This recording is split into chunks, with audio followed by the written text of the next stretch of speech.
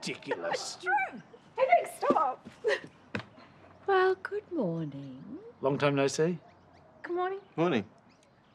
Karl and I are both very happy that your relationship has progressed. And we want you to know that we, we completely support that. You know, when we're, we're not as, as square as you, you might think we are, you know.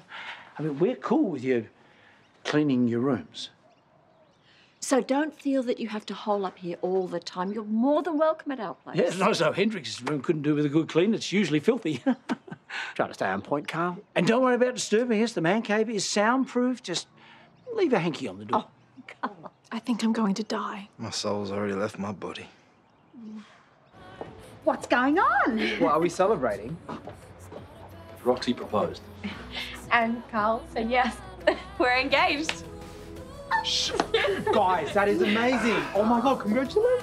Yes, of course. Congratulations. Yeah. Oh my goodness. Oh. All right. I want to make a toast. Okay.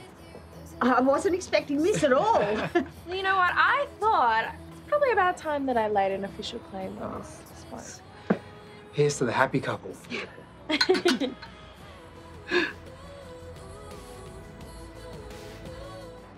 I've missed this. Aside from everything else, I've missed just hanging out with you. I've missed it too. I wish we'd gotten back here sooner. And I think it's possible that we might have if Leo hadn't come back. I honestly thought that proposing was the best thing.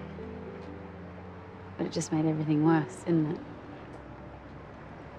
I should have talked to you instead of freaking out. Yeah. You should have. But you were just trying to do what was best for everyone, and something had to give. I'm glad I understand that now.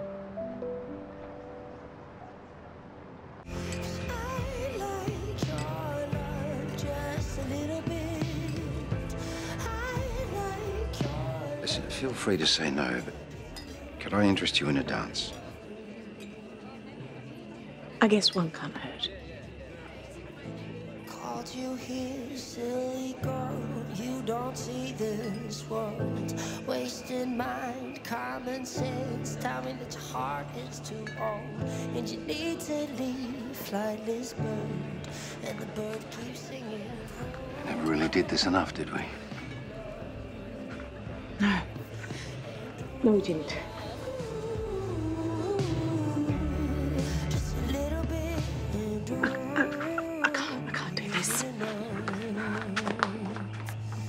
Saying,